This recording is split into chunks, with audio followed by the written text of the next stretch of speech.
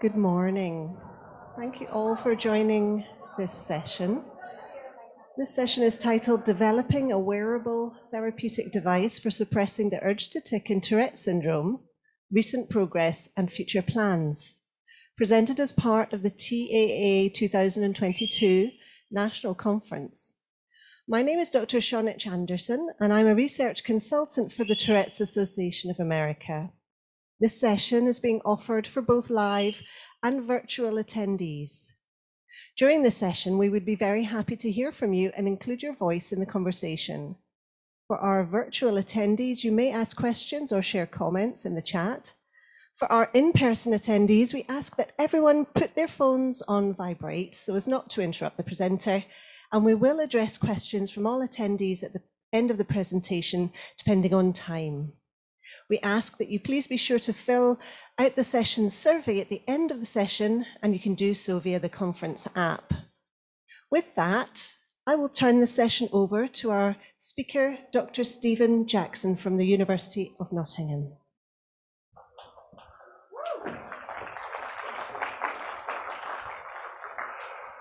Okay, thank you very much for inviting me here. Um, I was asked to talk to you a bit about uh, a couple of things that you heard in the earlier session.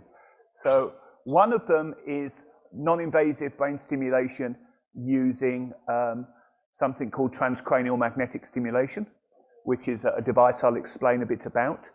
And then the second thing is, uh, as in the title there, I'm going to talk to you about our attempts to develop a wearable therapeutic device um, that's based on median nerve stimulation, which you heard in, in uh, a bit about in one of the earlier talks, and show you some data from that.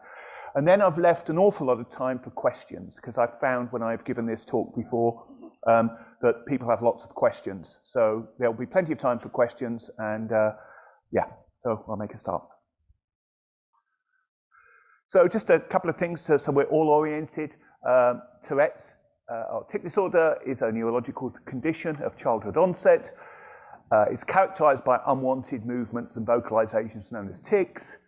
The key things uh, that I want you to think about uh, or be aware of is that um, we think that the occurrence of tics, and I'll show you a bit of data on this, is due to altered function in the brain networks uh, controlling movements. We've heard about that earlier. Um, and one of the key ideas which I want us to think about is that it's linked to hyperexcitability in those cortical areas that give rise to movements. Um, tics can be suppressed. I'm sure many of you are familiar with the idea that you can uh, suppress your tics, but this uh, gives rise to uncomfortable um, sensations, feelings, which are, and that suppression is difficult to sustain. And uh, we tend to term those uncomfortable sensations as premonitory urges. And my experience of premonitory urges, talking to people about them, is they will often express this as a sort of bodily sensation, a sense of pressure, uh, of uncomfortable bodily sensations that builds up. And then when they tic, they feel get some relief. I don't know if that's most people's experience. But this is important uh, in the context of uh, what we're trying to achieve with our, our potential therapy. Um, I, I, just a bit of background. I wasn't sure how much people knew about this, so I'm just going to give you a bit of background of the motivation for where we're coming from in thinking about this therapy. So, how does our brain control of our, our actions? Well, communication in the brain is achieved by means of brain cells, which we call neurons, which send messages to each other and to the body. And those messages are based on two types of information transmission. One is electrical, so electrical signals are sent down the axons of these neurons. And then at the end of those axons, we have the transmission of chemical messages, um, and we've heard a bit about that earlier. So the important thing is that we have electrical signals that are involved in the release of these chemical signals. And as you heard this morning, most of the drugs that are used are modulating these sorts of chemical signals. Okay, so how does the um, brain control our actions? Well, we can think of these neurons as sending messages, lots of them simultaneously. And we can think about this as the idea then that many different neurons may be sending messages all at the same time. Think of them as sort of shouting out what they've got to say. And if we allowed all of those signals to have equal weight, we'd have a problem of trying to understand them.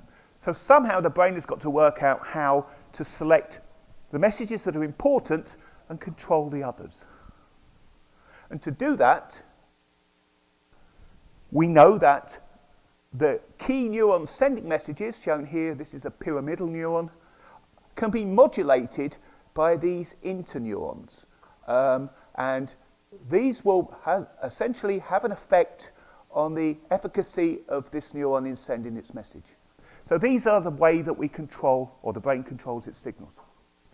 And you've heard about some of the neurotransmitter modulators this morning. We've heard about dopamine. You've heard about GABA.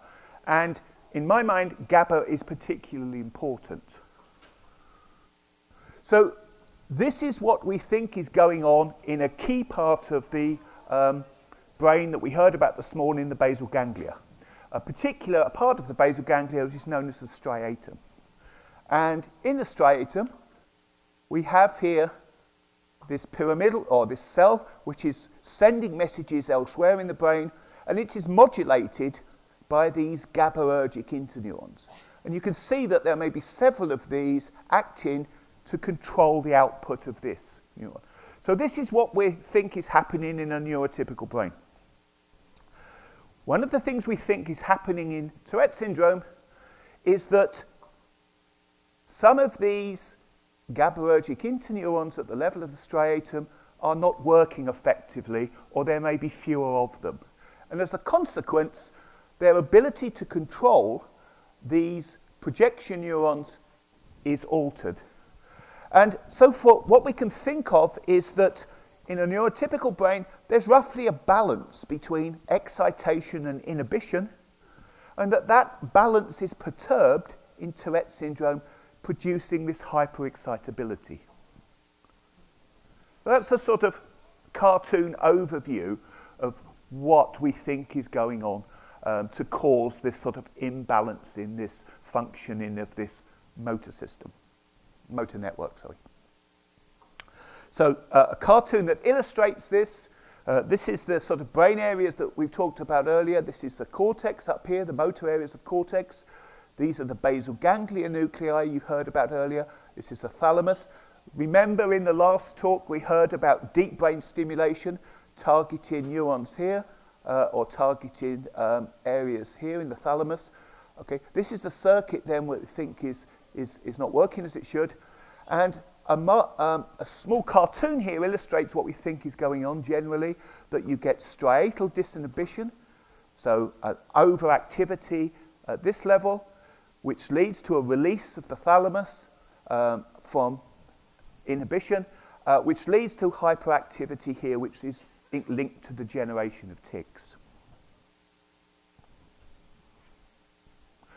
And we can Get some idea about this through using brain imaging to understand what's going on, for example, in the brain before a tic. So this is an MRI scanner, and when we use an MRI scanner, we can look at areas of activity that are associated with particular actions. So as an example, this simply shows brain areas of activity that when people are swallowing, they're making swallowing movements. Importantly, when people have studied what happens in the brain immediately before we tic, we see something quite interesting. So this is a study published in 2014, and what it shows is the following. It shows up here areas that are active two seconds before you tic.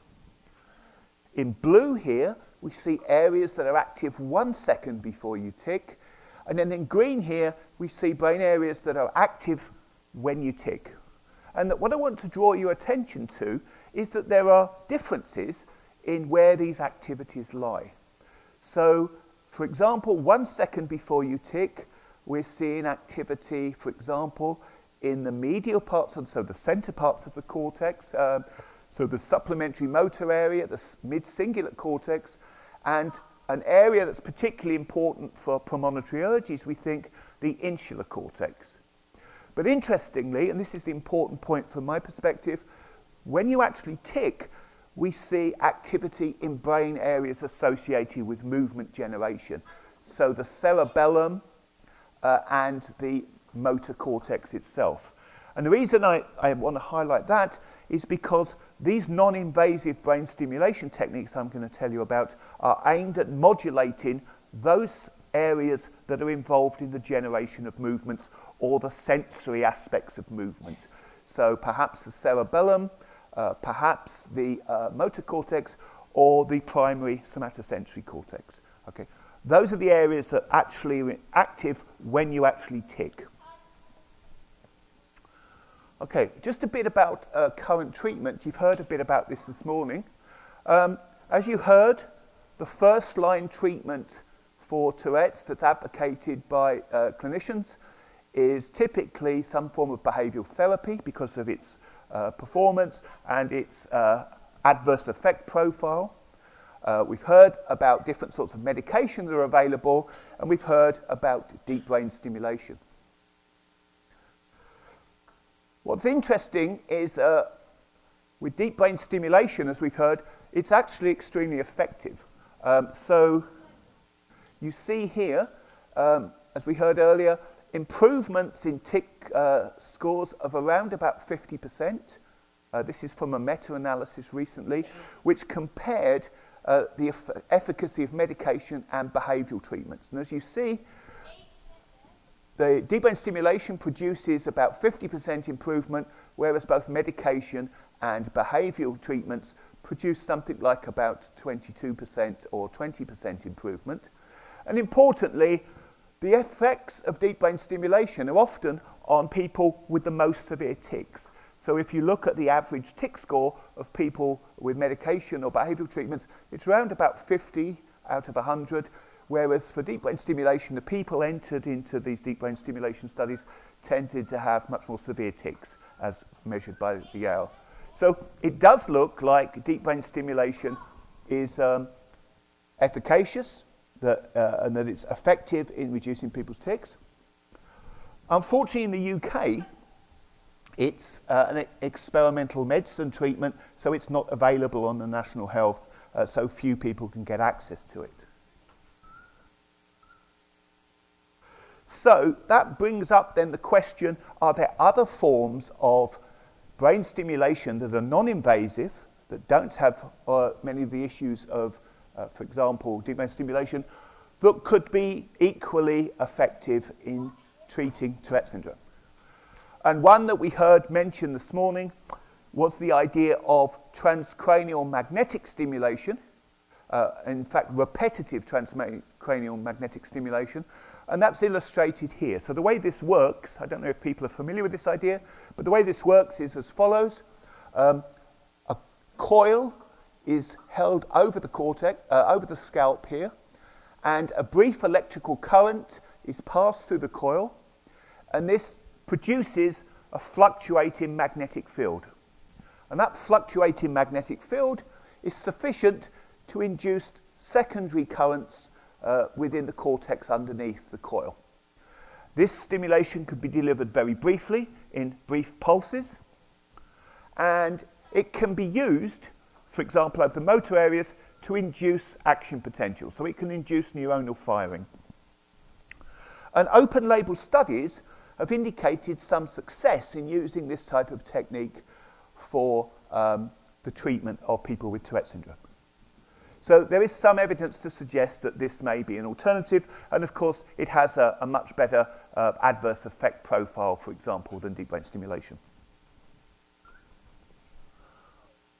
I think it's worth illustrating or emphasizing, though, what people might be doing um, with um, non-invasive brain stimulation because it's important in thinking about the results. So uh, non-invasive brain stimulation um, is a very flexible uh, and useful technique that can be used in lots of different ways. The way that it's often been used is to produce what I would call an offline therapeutic benefit. Now, what do I mean by that? Well, the suggestion is that this can be used to modulate brain networks by, for example, increasing or decreasing uh, cortical excitability according to the type of stimulation given. So the idea here of an offline therapeutic benefit might be that you come along, you have several sessions in the clinic of non-invasive brain stimulation, and that produces a benefit that outlasts the stimulation. So it means that you go away and for a month, three months, six months, you see a reduction in your tics as a result of the therapy. Okay? So I'd call that an offline effect. Okay? You have the stimulation and then you see the benefits afterwards. Another, I think, very powerful way that it can be used is an, as an adjunct to therapy. So one of the things that we know that non-invasive brain stimulation can do is to enhance learning and synaptic plasticity. So that's one of the things that it's less controversial is that with lots of evidence that stimulation improves learning.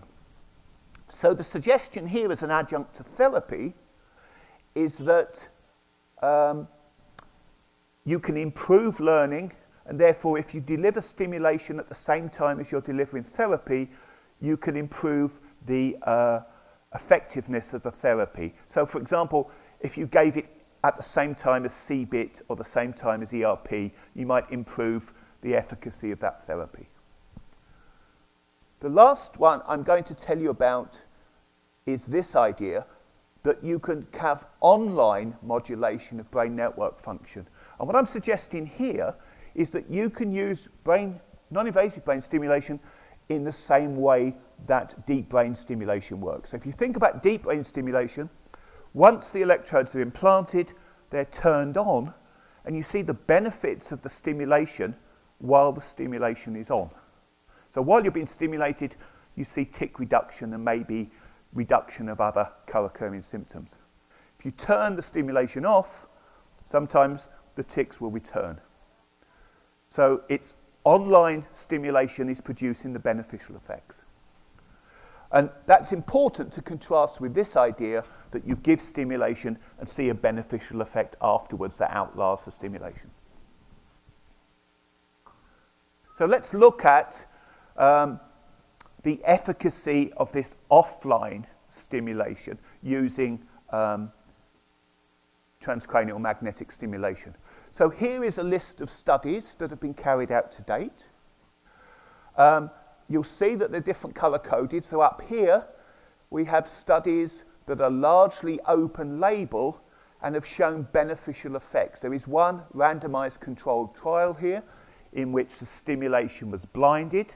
But typically, these are open label trials, which means the subject was aware of, or the participant was aware of, um, that they were receiving the stimulation. In most cases, the stimulation has been given to an area of the cortex known as the supplementary motor area. You see that it involved multiple sessions. And in general, the type of stimulation I've shown here in blue is low frequency repetitive TMS, which is thought to have an inhibitory effect. So it's thought to drive down the excitability of the tissue that's being stimulated. In red here, I've shown high frequency stimulation, which is thought to have the opposite effect. It's thought to increase cortical excitability. And what you can also see from these open label studies is that in some there's tic reduction, in others there's also reduction of co-occurring symptoms, like for example, in this case, the uh, symptoms of ADHD or the symptoms of OCD in this case, uh, or in these cases here.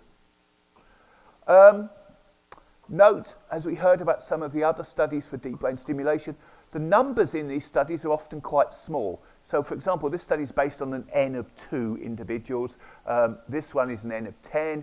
This is better. This is an N of 25. But um, these are still relatively small numbers. So the open label studies look quite, quite good, uh, at least promising. Unfortunately, when you look at the when you look at the uh, randomized controlled trials, the picture isn't quite as good. So for these randomized controlled trials, in which the participant is blind to which condition they're in, and so is typically the, the, the people doing the, the data analysis. There's no change between uh, placebo and um, active stimulation. So these are, are less promising um, of the effectiveness of these um, TMS studies. Why might that be? Hopefully I've got some data on this. Okay, uh, I haven't here got the data on that. Um, it was in my talk yesterday. I, I, I said about that. Um, I, if I'm asking questions, I could go through why I think they don't work. But for the moment, let's just assume that they're not particularly effective. One possibility is, uh, I'll just tell you about this. I think maybe the issue is that trying to achieve offline benefits of stimulation maybe isn't effective and isn't likely to be effective for a number of reasons. It may be the type of stimulation given, it may be some of the underlying assumptions that you're driving up or down cortical excitability. Maybe that isn't what's actually happened or, or even required. But the point is, they don't look to be particularly effective. Um, just uh, before we get on to the next part of the talk, which is about the type of therapy I'm advocating, um, just a, a, few things about treatment in the UK. I'm not sure whether this mirrors your own experience in the US, but in the United Kingdom, um, access to treatment is normally gained via access to the National Health Service. So this is treatment is free at the point of delivery. But in order to get that treatment, you have to basically get some sort of diagnosis. And so provision for tic disorders is actually very limited in the UK and it varies across the country. So if you happen to be in London, there's probably quite good provision and you have a good chance of getting some en route to treatment. But in other parts of the country, there's no provision at all. So even if you were to get a diagnosis, uh, there's no treatment. And we can see that here. So in um, the UK, we have a, a national charity, a bit like the TAA, and the uh, charity carried out a survey in 2020 where they asked members of the association um, about their experience. And what they found was um, that about 56 people, 56% of people who were diagnosed with Tourette's or tic disorder waited longer than a year to get their diagnosis. About 29% waited longer than two years, and 19% waited longer than three years to get their diagnosis. I don't know how that experience uh, mirrors what you've experienced, but the worrying thing for me is that more than half of those people, at the same time they got a diagnosis, were discharged without any further treatment. So they waited all that time for diagnosis and then got discharged with no further access to treatment which is worrying. So why is that relevant? Well, when we ask people for our research priorities, what should we be focusing on, then people with Tourette's and their families will often say something like, what they want us to do is to develop a low cost, safe and effective non-drug treatment that can be used to give the individual control over their tics. That's what people want. And ideally, they want this control to be used outside of the clinic. So they don't want to travel hundreds of miles potentially to a clinic to get treatment. They want something that they can use in their own home or at school or in the office or going through the airport to give them control over their tics. So that was the starting point for the work that uh, we've been doing lately.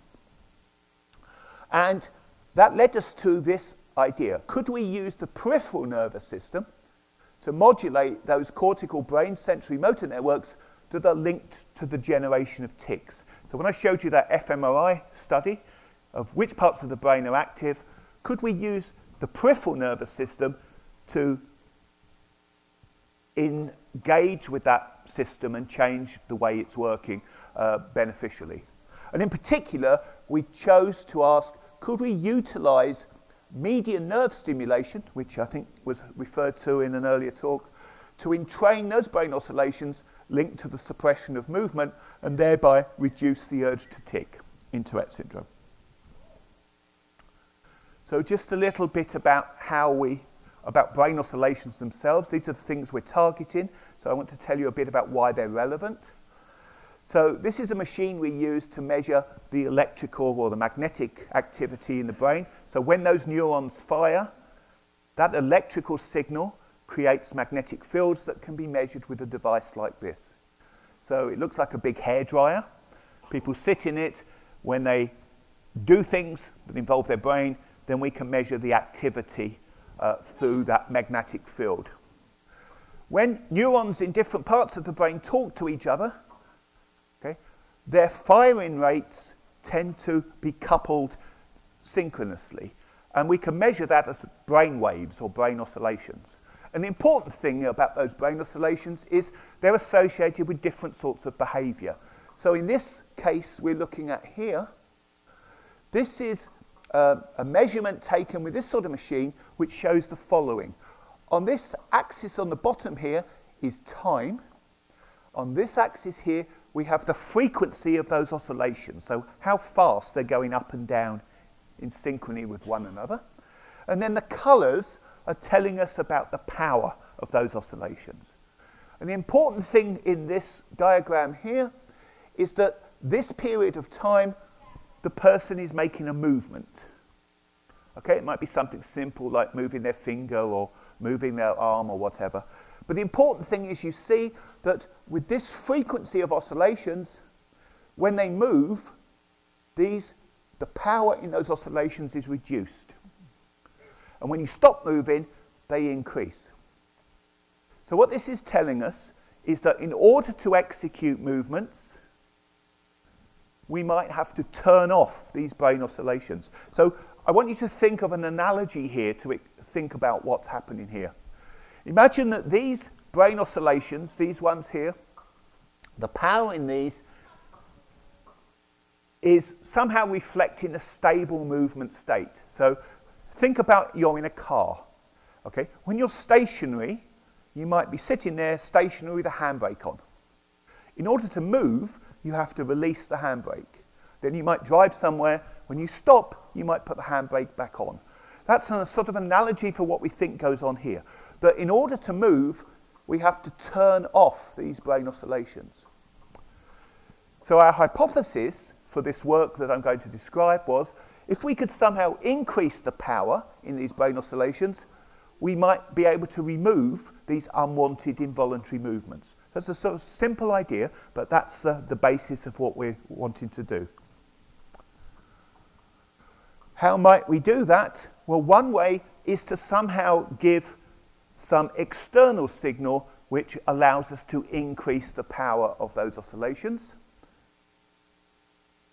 So again, an analogy, imagine you're walking along and someone plays some music which has a heavy bass line. What will tend to happen is your movements will become synchronized to that bass line. So imagine you're walking along and someone's banging a drum. You might tend to walk to the beat. Does that make sense to people? Right. So we're trying to do the same thing, but we're not now banging a drum with an auditory signal, but we're stimulating at a particular frequency which is the frequency we want to target. So we're giving electrical stimulation of the nerve at a particular frequency. Okay, I'll skip this. Um, we use this brain imaging technique to see if this is working. So what happens in the brain when we give this rhythmic stimulation a particular frequency? And we compared it against the same number of stimuli, but the non-rhythmic, and this is the finding. I'll get to the good stuff about how it affects Tourette's people in a second, but let me just explain that now here, this is when we give rhythmic stimulation at this frequency here, so this is at 12 hertz, we see an increase in the power of that 12 hertz signal for rhythmic stimulation, which is targeting those motor areas of the brain here. And when we give arrhythmic stimulation, it's not there. So we can see quite clearly that we're increasing the power of those brain oscillations with this targeted rhythmic stimulation. Okay, let's now move to what happens in people with Tourette syndrome. So can we see any benefits of this in people with Tourette syndrome. So as you may have heard in a previous talk, um, we took 19 people. Where's it gone? What did I do? Ah.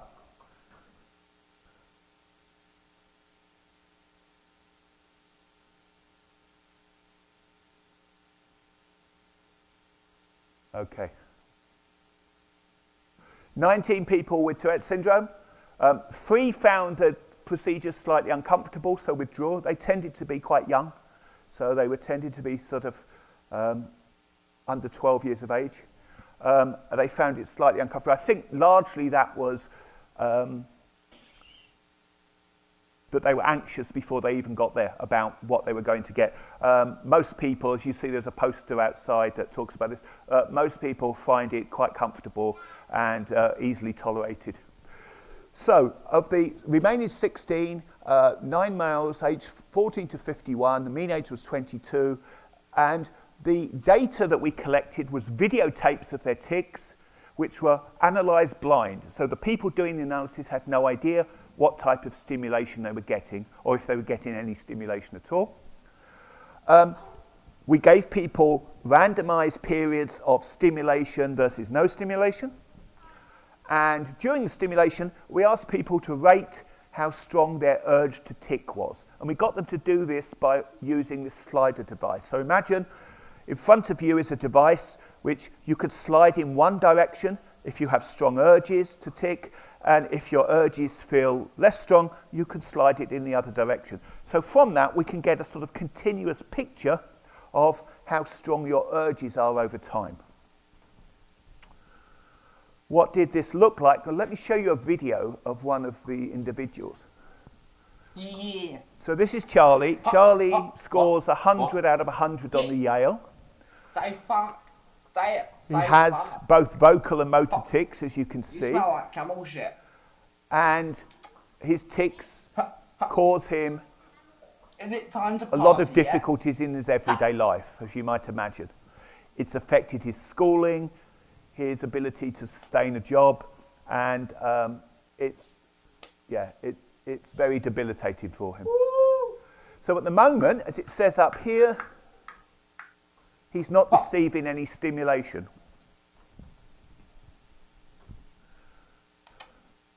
Yeah. Shortly, the stimulation is going to get turned on, and you'll see the effect. What? What?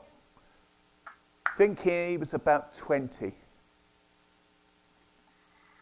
Now he's moving the slider to indicate, with his left hand, to indicate that uh, his urge to tic has dramatically reduced.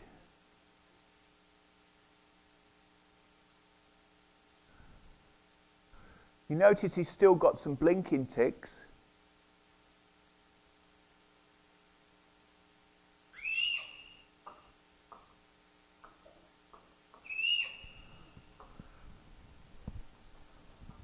But most, if not all, of his really florid motor tics and vocal tics have now gone.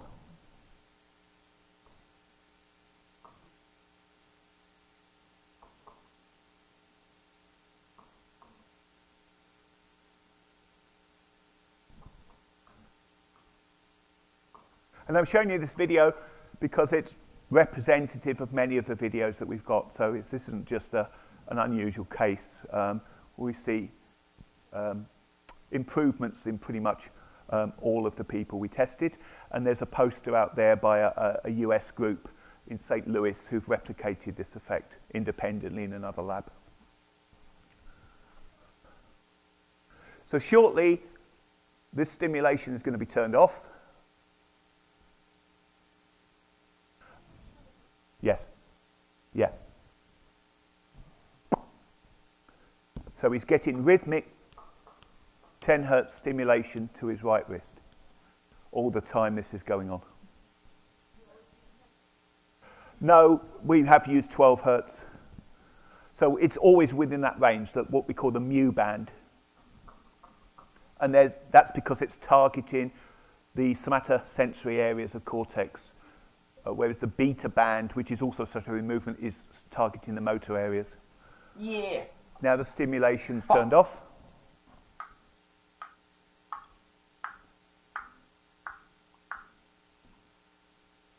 Ha.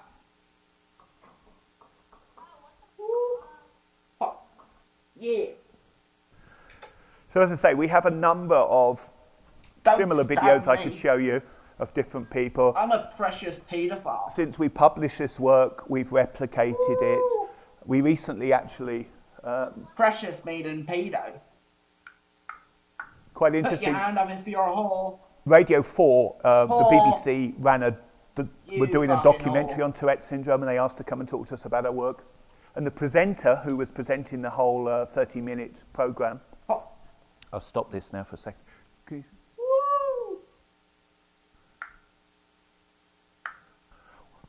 So I'll carry on talking over it then. So the, um, the presenter who was, who was presenting the, um, doing the um, uh, program himself had Tourette syndrome, and he was telling us beforehand um, about the, all the therapies he tried that had been ineffective, and uh, he was telling us about his experience of Tourette syndrome. And he asked on live while he was being interviewed um, to try the device, and he put it on, and um, almost straight away burst into tears. In that he said it's the first time in his experience that the urge to tic, which he sort of had continuously, was gone, um, and he was quite shocked by the the effect. So you know we have replicated this many times since the original publication.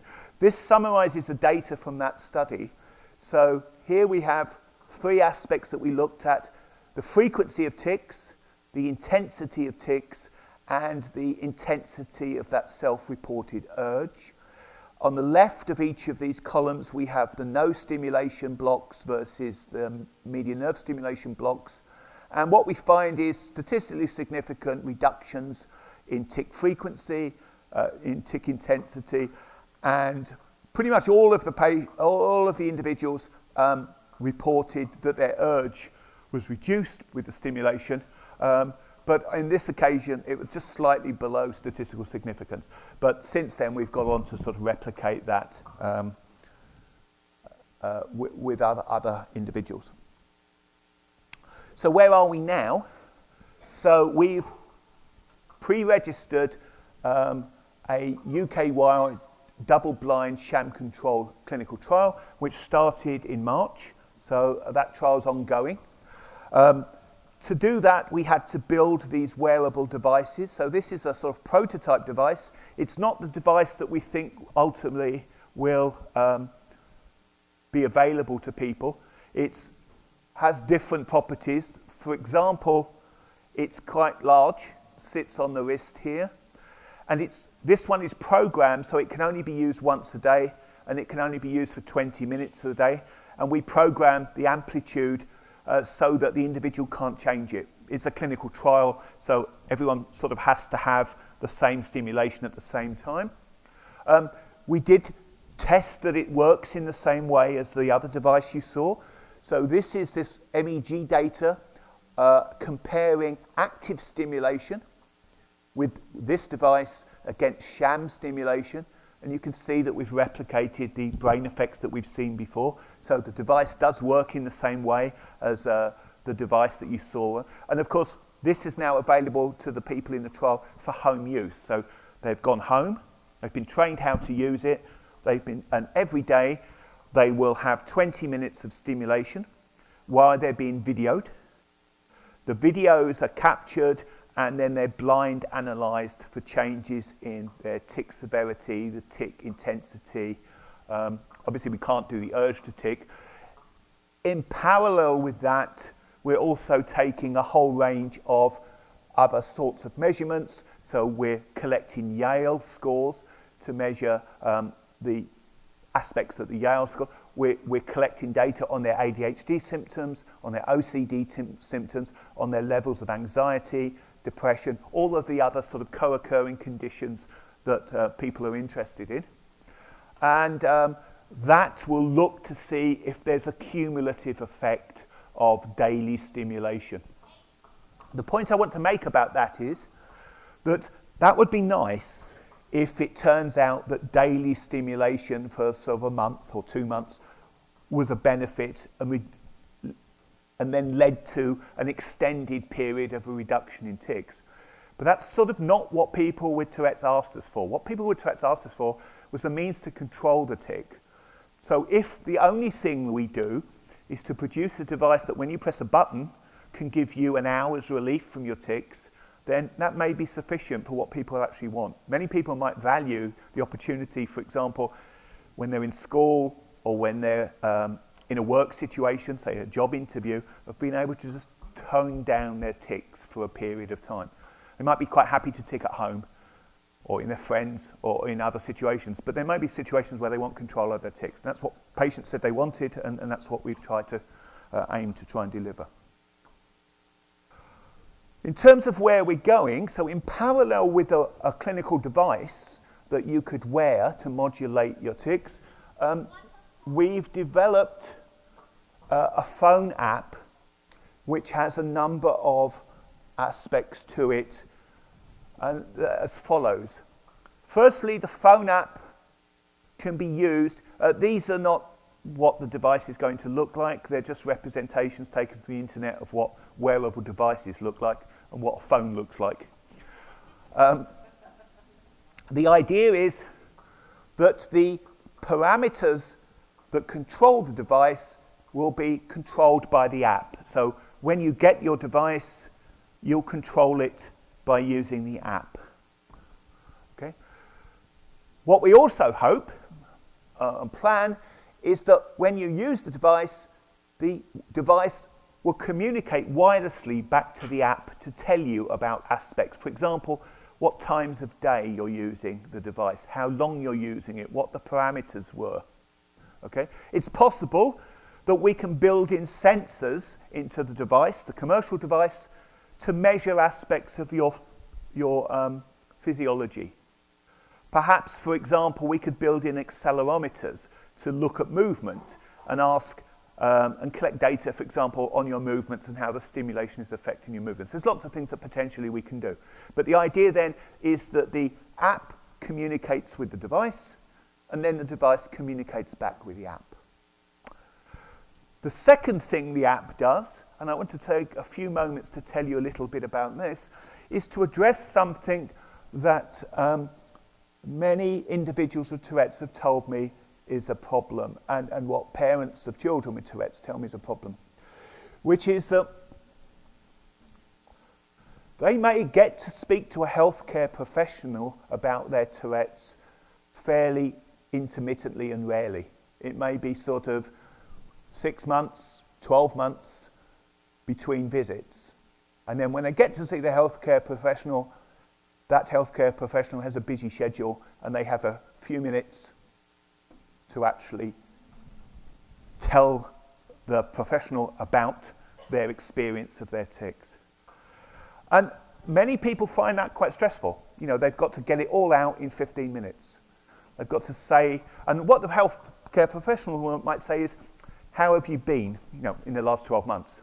You know, how have your tics been? Um, how was the medication? You know, is it still working? Blah, blah, blah. And of course, it's difficult to summarize what the last 12 months have been like for you. Um, you've got to remember it. Uh, you've got to get it out, express it. Maybe you're a bit anxious being in the clinic. You've waited a long time. You want to get it all out. So the thing that we've tried to develop here is a, a tic tracker, a diary that allows you over time to track your symptoms. Now, it's not magic, this device, so you have to give it data. Uh, and you can set how much data you give it, but the idea is it will poll you randomly different times of the day. You can set out how often. You can set out um, if there are particular times you don't want to be polled. But the idea is the tic tracker will poll you at different times of the day and ask you a series of short questions. So rate out of a scale of 1 to 10 how your tics are. Rate out of a scale of 1 to 10 of how your um, premonitory urges are what is your current situation? Are you at home? Are you at work? Are you at school, etc.? Um, how did you sleep last night? Um, have you taken any exercise today? Uh, simple questions like that that could be done quite quickly. You have the option to set up how often you're polled, what sorts of questions you want to be asked. Some of them are mandatory, like how are your tics today. Others are optional, you can opt in and out. It allows you to upload a photograph of what your tics look like, so you can take a video of your tics, uh, which is then available to show your healthcare professional. What it then does is over a period of time, it builds up a picture of what your tics look like. So it tells you perhaps what, on average, what your tics are doing each day. It perhaps tells you which situations you tend to tic more or less. It might tell you if there are particular aspects of your life which tend to increase tics, for example, poor sleep, stressful situations, uh, whether there are certain things that improve your tics, perhaps exercise or, or some other aspect. Um, it can be used to track perhaps the efficacy of treatment. So say you see your healthcare professional and they say, well, I'm going to change your dose. Okay? Perhaps you can then look, well, what do my tics look like three months before the dose change versus the three months afterwards? Has the change of medication worked? Yeah, these sorts of things. And what it then does is put all that into a format that the healthcare professional would like. So it's a PDF report that we've got healthcare professionals to advise us how they'd like the data presented. So, you know, nice colored graphs showing, you know, proportion of tics in different parts of the day or this sort of stuff. So the idea then is that combined with this device, the tic tracker is providing you with a, a comprehensive, robust statement about what your tics look like, say, over the last 12 months. Because we're collecting data from many, many people, you can also say, well, how do my tics look like? But also, what, what do my tics look like relative to other people? And we can use data from other people to say, well, in general, what things tend to improve tics? Say exercise, sleep, etc. What things tend to exacerbate tics? Maybe anxiety or, or other co-occurring conditions, etc. So together, the idea is long term that the tic tracker will collect data from the device and incorporate that into your own data to give you a much more comprehensive, robust idea about how your symptoms are changing and the efficacy, for example, of the median nerve stimulation. So, I think I'll stop there. That gives you an overview of what we're doing, where we're going, and I'm happy to take any questions.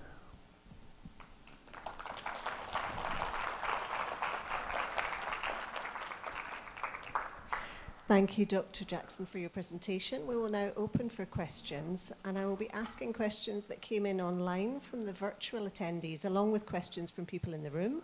There is a microphone at the front of the room. Um, so if I can start with one that came in online, and then we'll, we'll do one online and then one in the room as we go along.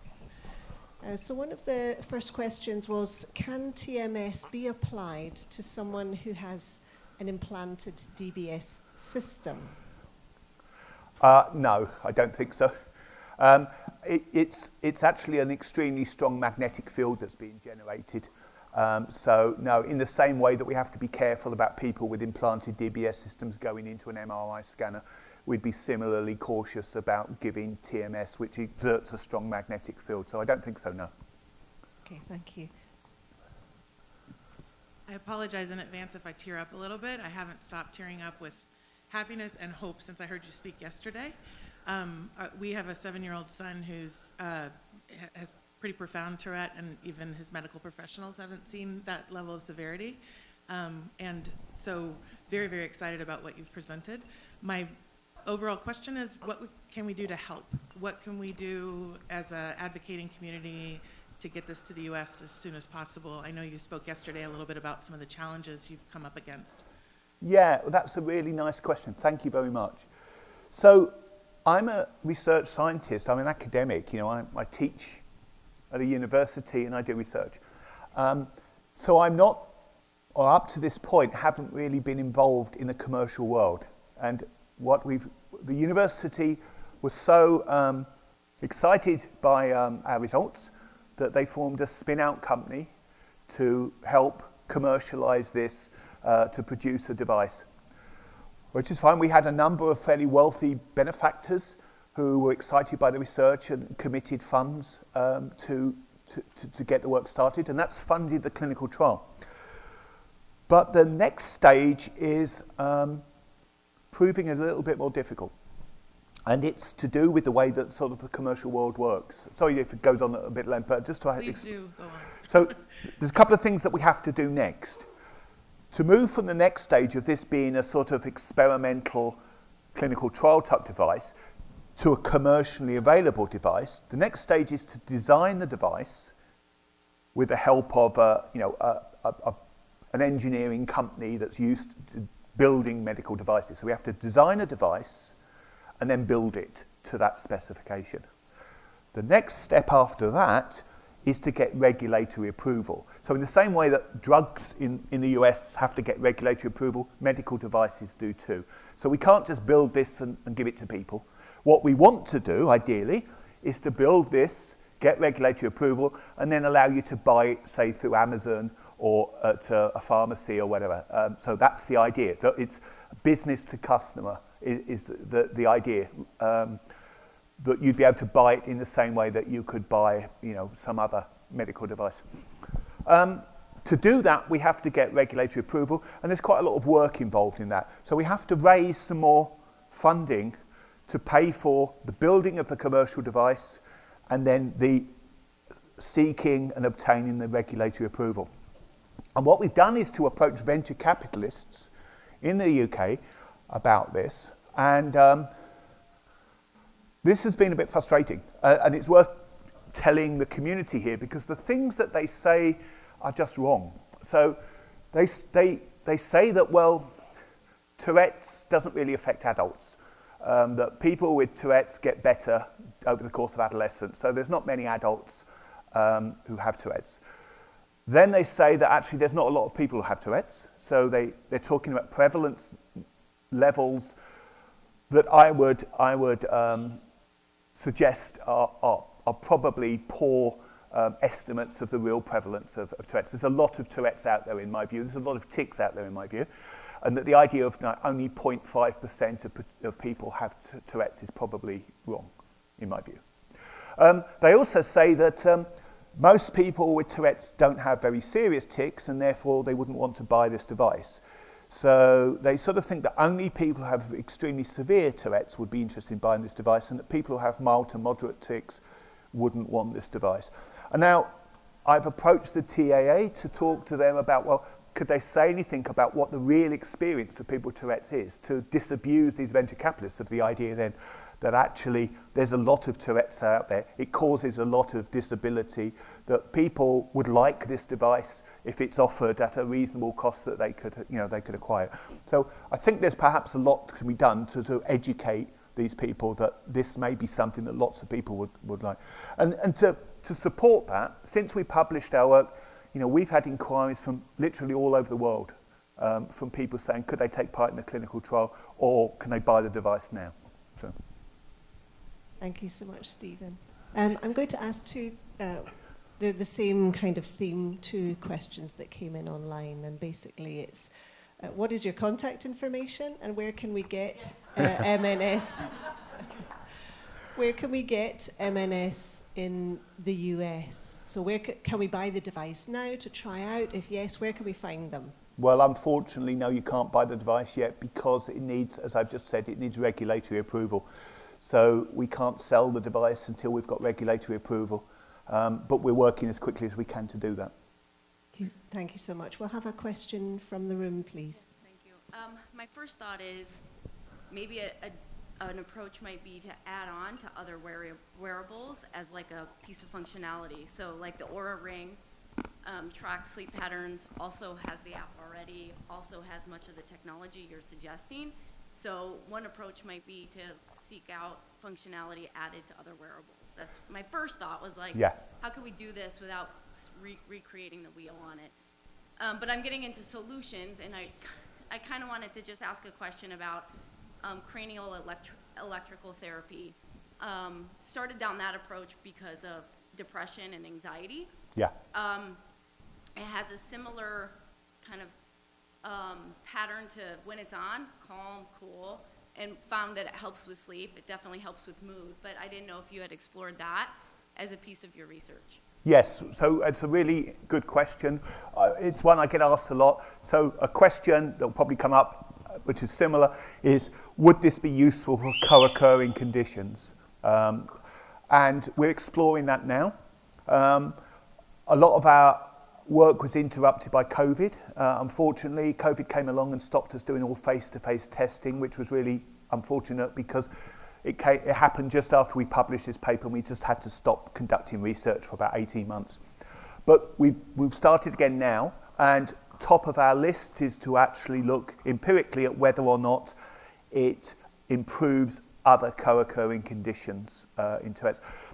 The evidence we've got so far uh, seems to be that it's effective for a number of things. So we've tested people with ADHD, who report that the sort of buzzing noises they report in their head is reduced while they've been stimulated.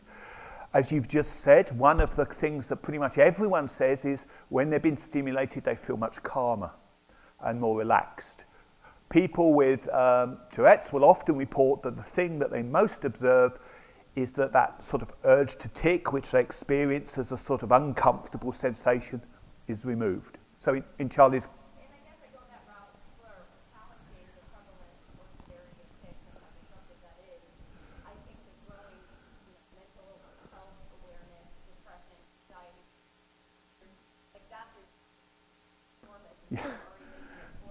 Yeah.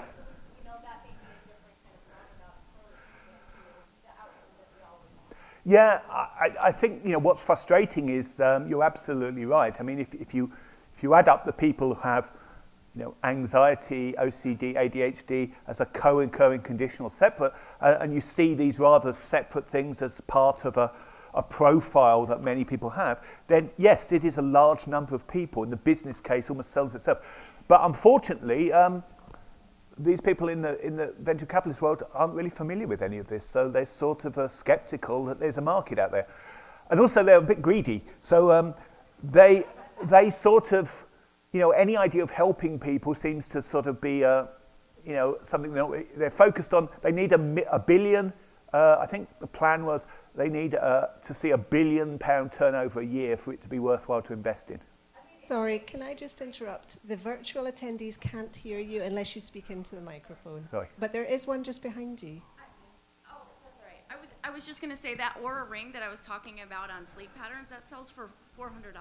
Yeah, You know, like there's big money to be made in this. yeah. And, and more than pharmaceuticals in Yeah. treating those things. Yeah, I have to emphasize as well, I, I'm not really interested that much in making money myself. I just want to see this thing out there. Thank you so much. I'm going to take another virtual question before I come back into the room. Um, somebody is asking, I wonder what your advice would be about this. Can a simple TENS machine be set to the frequency and amplitude you used and attached to the medial nerve? And if not, why not? What is the difference? So um, the first thing is potentially yes, but actually Kevin Black's group did that and gave people TENS machines to go, take home, and the majority discontinued because what they said was um, even though the stimulation had been effective when they came into the lab, they couldn't be bothered with all the fuss of having a big bulky thing that carried around with wires going all up their arm that, that wasn't really portable. So what people want is something that's wearable and unobtrusive, um, which the TENS machine, I mean TENS machine is, is made to be sort of, you sit in a chair and you have the TENS machine for pain or whatever. Also the frequencies are quite different. So the frequency of TENS machines typically is high frequencies, like 150 hertz, for example.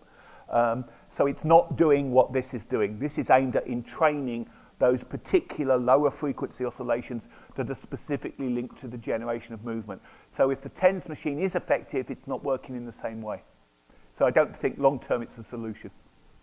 Okay, we can have the next question from the room, please.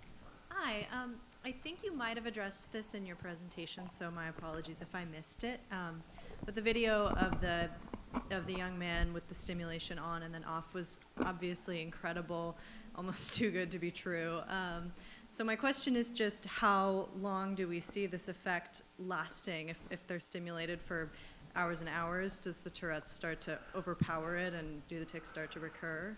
So um, there's a number so that's thank you. That's a, an interesting question. So I'm asked this a lot. So I'm, there's a couple of questions I get asked a lot, and um, they're sort of difficult to answer. One is, do you habituate to it? That's um, you know a, a question that comes up a lot, and of course um, we've sort of looked at this, and as far as we can see, so we've we've used brain imaging to actually say if you give the stimulation, does the brain effects of the stimulation diminish over time? As far as we can see, the answer to that is no. Okay, but then someone could say, well, did you, did you look long enough in time? You know, if you looked a bit longer, would it have gone away? So um, the answer to that is, you know, as far as we can say, no. If there was any, um, any sort of habituation, you would be able to deal with it, I think, quite straightforwardly. So one of the things we know from psychology is that you tend to get habituation to an identical stimulus. If you change the stimulus so it becomes novel again, then you get the same sort of effect. So, so you can overcome habituation by changing the stimulus. So what we would suggest is if there was a problem, we would just cycle between different frequencies to sort of refresh the stimulus so it, uh, and get rid of any habituation. What was the other part of your question? Sorry. Uh, no, that was it. Okay. That's great. Thank you. Okay, no problem. Great. I, I'm sure another question you must get asked a lot, and sorry if you've covered this, but it's come in a couple of times uh, on the live feed. Can you anticipate any downsides uh, to the median nerve stimulator on an ongoing basis? Are there any negative side effects that you've found so far? No. Um, so, I mean, in a sense, we can take our cue from deep brain stimulation. So if you look at the adverse effects of deep brain stimulation, they tend to be things like infection or the leads move, or you so you have to have more surgery to replace it. But deep brain stimulation, it's switched on, it's on for 24-7, and it has a beneficial effect. So we know from deep brain stimulation studies that uh, some continuous stimulation of the nervous system is not uh, leading to any um, particular adverse effects. Median nerve stimulation has been used in, in clinical settings for many, many, many years. Um, it's used, for example, um, in, in assessing for things like MS, where people will get median nerve stimulation to do nerve conduction studies. So we know it's entirely safe. I, well, I asked my clinical colleagues, what about if we were to give rhythmic median nerve stimulation to people, for example, who have particular types of epilepsy that can be triggered by, for example, flickering lights at a particular frequency. And they all said, no, it'd be perfectly safe. So as far as we know, um, from everything we've done, we've never seen any sort of adverse effects. The only thing that might happen with a wearable device is you might get some sort of um, rash or something appearing underneath the device in the same way that you get with a Fitbit or an Apple Watch or any other device. Um, so that's the only sort of ab- adverse effect we can think of that you know you may get some sort of skin irritation from wearing a device like that. Great. Let's have another question from the room, please. Hi, thanks so much. Um, that was really informative. So it's actually really similar to the last um, two questions, but like anecdotally and personally for myself, like I know that when I suppress tics, you know, right after, let's say I'm suppressing it for a day, it's um, a lot worse in like frequency and severity. So I know suppressing tics is very different from the work you guys are doing, but have you guys seen any changes in like either frequency or the urges of the tics kind of right right when it's right before it's turned on versus right afterwards? So I know you mentioned like, you know, you have a job interview, you turn it on for 15 minutes and you turn it off. So measuring that on the slider scale, is there even a difference even for a short moment where right after turning off the stimulation, the urge is increased and then it levels off? So there's some individual, that's a really nice question, thank you, and I can answer that in two ways. Um, so the first thing is there's some individual variability in people's experience of this. So most people come in and they've got high levels of tics before they get stimulated. Turn the stimulation on. In many people, probably the majority, they behave like Charlie in the video, that their tics go down while they're being stimulated. And when we turn the stimulation off, their tics will come back. In a number of cases, the rebound of tics after stimulation is not as great as the tics before. There, there seems to some benefit that outlasts the stimulation. I'll come back to that. For some people, paradoxically, they claim that they seem to experience the most relief after they've had the stimulation. So they've had the stimulation, then you turn it off, and then they say that actually they feel the most benefit immediately after the stimulation. So there seems to be a bit of individual variability in when people experience the relief. With Charlie in the video, we started just before COVID to try and explore if there were any beneficial effects of repeated stimulation. So we got Charlie to come in on separate occasions, four days apart, and then we measured his, his tics with video um, before stimulation, during stimulation, after stimulation, and then we looked at that across repeated sessions. And the effects were pretty dramatic. Um, what we saw was that over the course, so within each session, we saw the effect you've seen there, that tics are high, turn the stimulation on, his tics go down, turn the stimulation off, his tics come up. Okay? But across time, across sessions, we saw that before stimulation, his tics were going down across time. And then after stimulation, his tics weren't coming up at all. And what we found at the last session, which we didn't advocate, was that Charlie felt so good about this that he stopped taking his medication. We didn't tell him to do that. He just decided to take himself off his medication. We told him to go and see his doctor and get himself back on if needed. But he felt so good from the repeated sessions that he had stopped taking his medication as a result. So then COVID came along and we had to stop doing that. So we've started again to look at that, and that's something the TAA have ad- advocated that we do in, in part of our funded research now from them, is to look at this sort of beneficial effect. And we've, that's what the clinical trial is looking at. So I think to answer your question, there's a little bit of individual variability in whether you see an after effect or not. Um, and there are some positive signs that, at least in, in some individuals, there seems to be a cumulative benefit of stimulation that outlasts the stimulation. Thanks. And just sorry, one more quick No follow up. Not look. I'm not trying to look for faults, but I'm just curious. Have you ever seen like the um, the reverse, where right after the urge was more amplified or, or worse for a little bit? Has that ever? No, so the most curious. compelling thing that people say, not just that the, the not just that we see from the videos that the tic frequency and tic intensity is reduced, but the thing that pretty much everyone says is that the urge goes away. That's the thing that strikes most people. So many people say that urge is constant, and as you say, it's exhausting trying to suppress their tics all the time, and that urge is there all the time. And well, during the stimulation, people say it's just gone. You know, I've never experienced anything like it. The, you know, the urge is gone. Great. Thanks so much.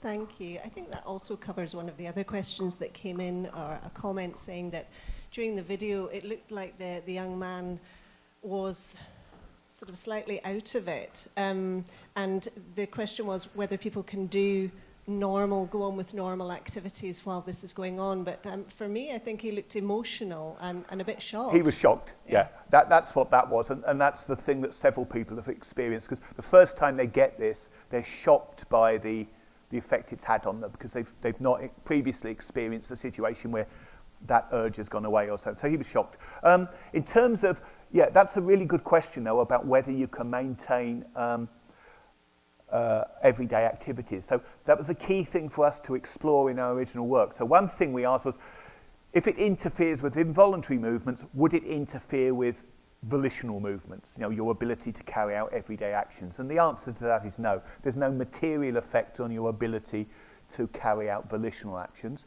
Secondly, uh, a question that we get asked a lot, does it impact on your cognitive performance? So if somehow it's, um, it's um, interfering with these movements, but it's also interfering with your ability to attend, you know, concentrate, you know, uh, then it's, that's a worry. So we, we looked at that by asking people to carry out a really demanding cognitive task. So this is, uh, the one we used was a continuous performance task. I don't know if people have ever come across this, but imagine that you've got to concentrate on responding as quickly as possible to stimuli that appear on a computer screen. So they may be, you know, alpha numeric characters come up on screen, and you have to press a button whenever you see one.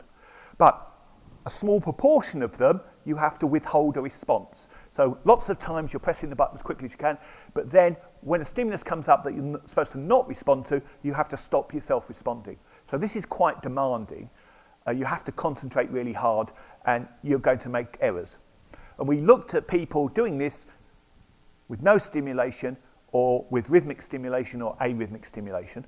And the bottom line is that stimulation had no effect on your ability to do it. So you can carry out this cognitively demanding task at the same time as you're re receiving the peripheral nerve stimulation. And in fact, you know, the, the comment that many people have said is when they've been stimulated, they quickly adapt to it and it feels quite calming and relaxing for them.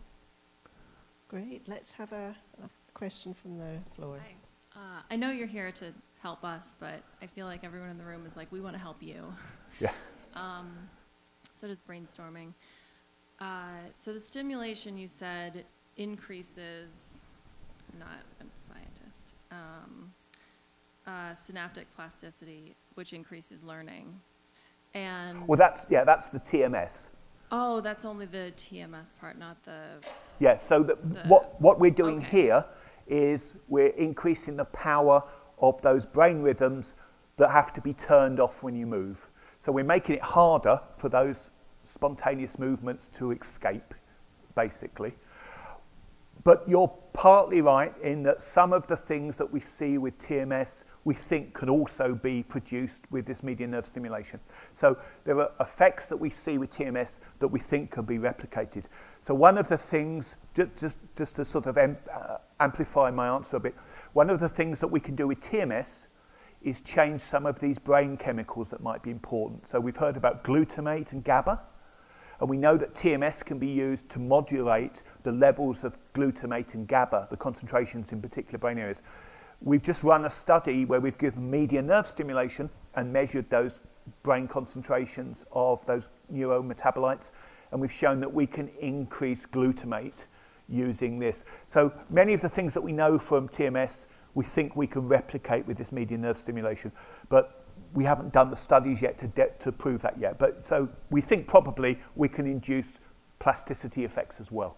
So you're, you're mean, right. Because that would be amazing. Who wouldn't want to just be able to learn easier for anything? Yeah. Well, I think more generally, not just talking about our technique, but more generally, what the non-invasive brain stimulation can do is modulate learning. That's the one thing that gets replicated quite a lot across studies. Maybe the mechanisms can be argued about, but the, but the, the benefits of stimulation. So the, one of the things I mentioned earlier was the idea of using stimulation as an adjunct for other forms of therapy. So if part of your therapy approach is to try and train people to do something, then I think training them to do something in the context of giving them non-invasive brain stimulation may make that training more effective. And it should make all trainings more effective, Yeah. right? Yeah. Um, could you talk more about how what you found from your studies about the co-occurring conditions for like ADHD, and whether more studies need to be done on that to prove its effectiveness for that? Because that Definitely. clearly. Definitely. increase. And I, I think I think it's worth actually emphasising why I think it's it might be useful for other conditions. So the core idea I want to get across is we're targeting those parts of the brain which are associated with sensory motor function. So the, the sensory aspects of the body and the motor aspects of the body. And they're connected to lots of other brain areas. So I don't think that it's right to think about targeting brain areas, we're targeting brain networks.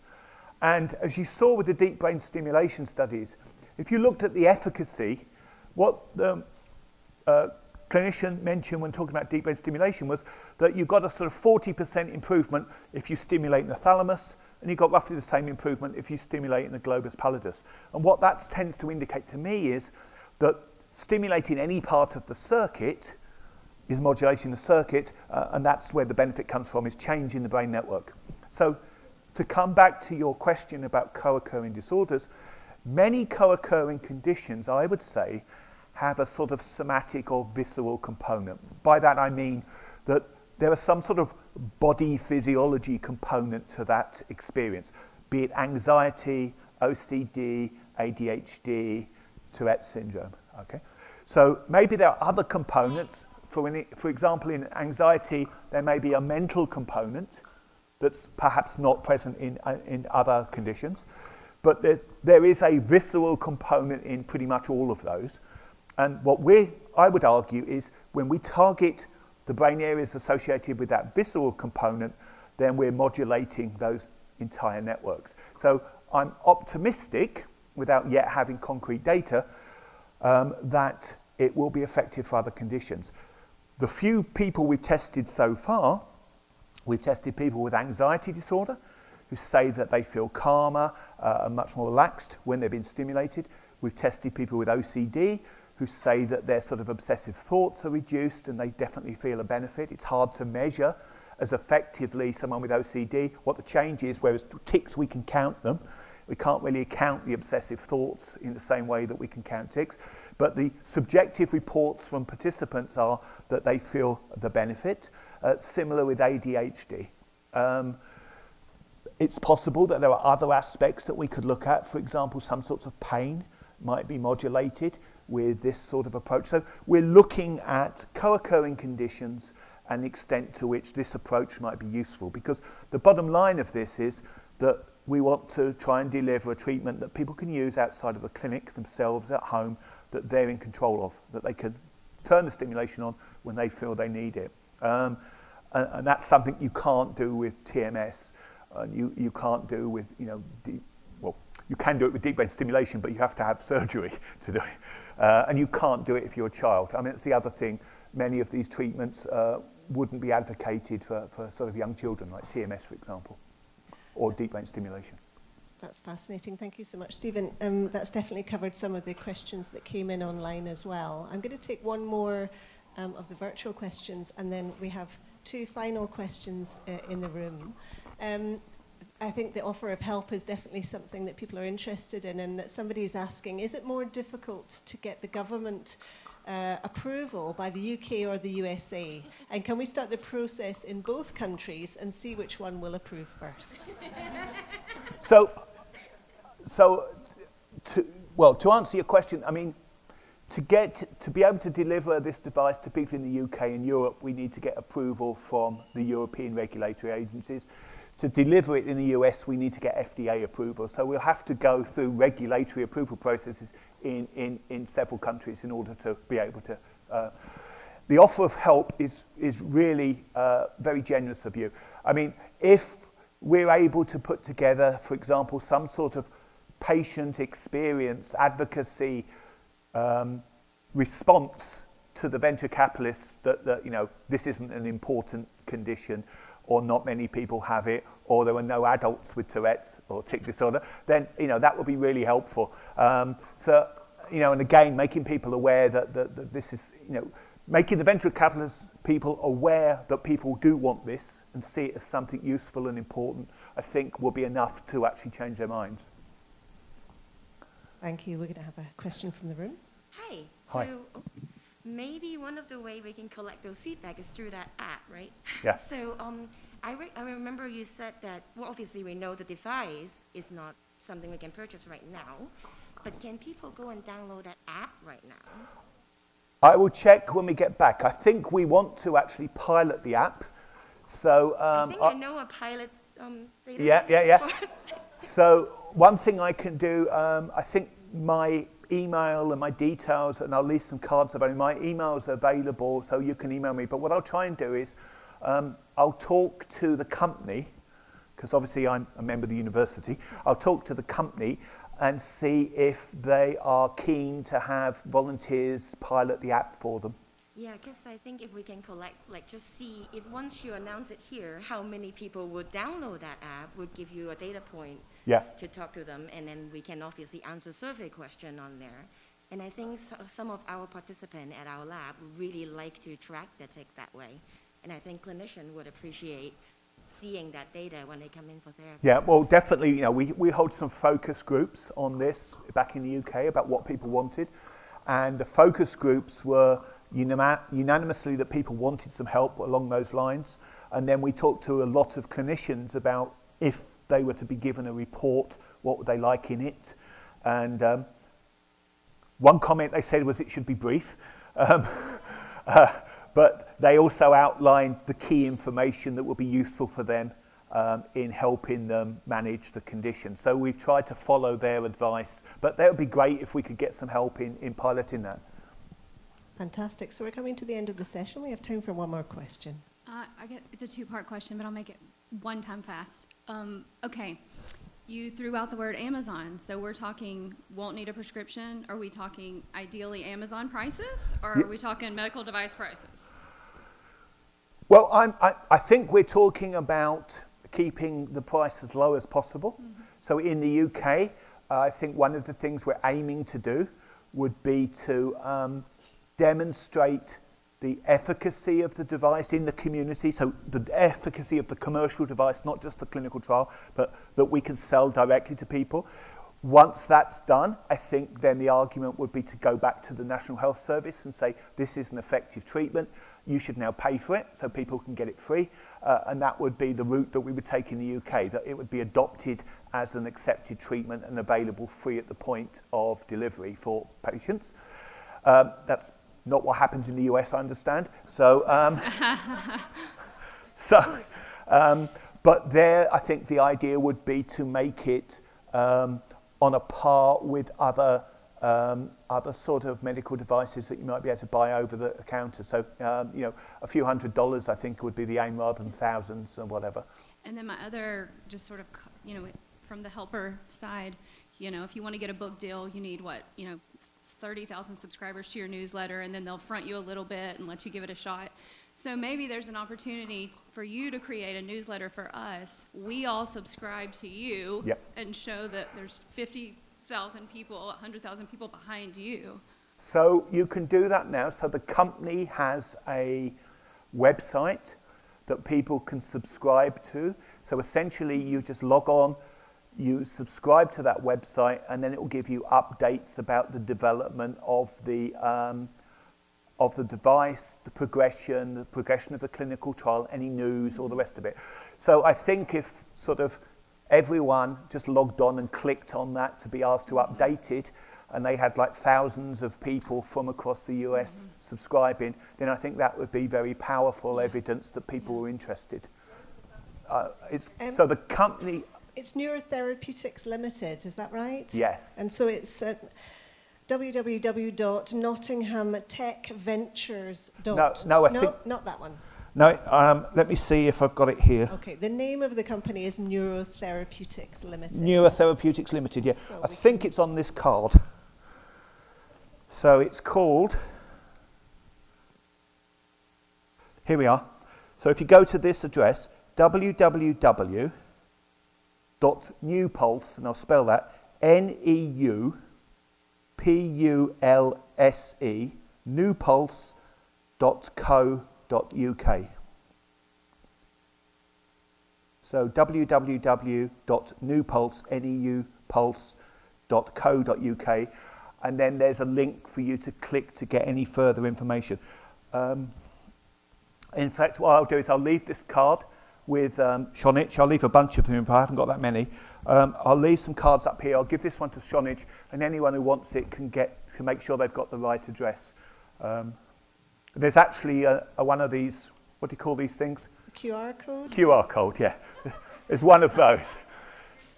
Well, We- and since I'm the last one standing at the microphone, I just think probably on behalf of the room, I just want to say thank you. Like, this is, gosh, so exciting for us. Okay. Well, and also I'd like to thank you all then for your offers of help. It's really humbling that so many people are keen to sort of try and advance this work. So thank you.